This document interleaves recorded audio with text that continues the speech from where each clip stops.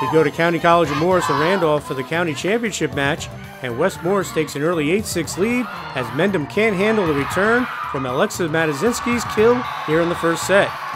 The Highlanders go up by five here. Watch the good work at the net by Alexa Chalot with a nice touch on the block, and it's 15 10 West Morris.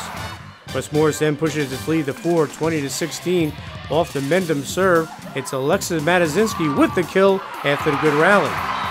Mendham cuts its deficit to four here. Watch Miranda Iverson with the serve for the Minutemen, and they get the point, but they trail 22 18. West Morris would wrap up the first set win here off the nice serve here from Gabby Savate as they would post a 25 20 victory and go up 1 0. Second set action and watch Catherine Staley wisely let the West serve go long for the point, and Mendham has an early 5 2 lead. But West Morris rallies to take a two point advantage here off the dig by Melanie Brothers. It's Alexa Chalot with the kill, and it's 7 5 West Morris. At the Mendham tied it at 8, it's Alexa Matazinski with the kill for West Morris as it has a 9 8 lead. Then watch Gabby Savate cap the rally here with the emphatic kill, and West Morris has a 15 11 advantage. Now it's Danielle Waring's turn to score for West Morris as she slams it in and Mendham is unable to return it, and it's 21 18 West Morris.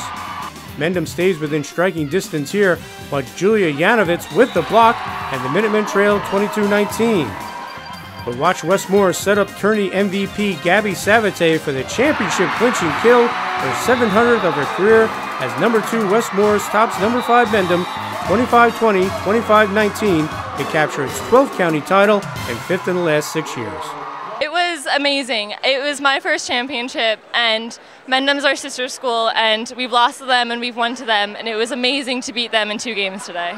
We practiced really hard, and I've, I've been working really hard myself for this. I think that after last year, we just went in even harder this season and just really worked on trying to get this title. I think we, we deserve it for our effort. It was just great to um, end senior year counties with all of this and all these girls. They're just an amazing group of girls to win it with, so it made it so much better. The girls battled though. Yeah, we've been playing at a high level and you know, I'm super proud of them. They deserve it.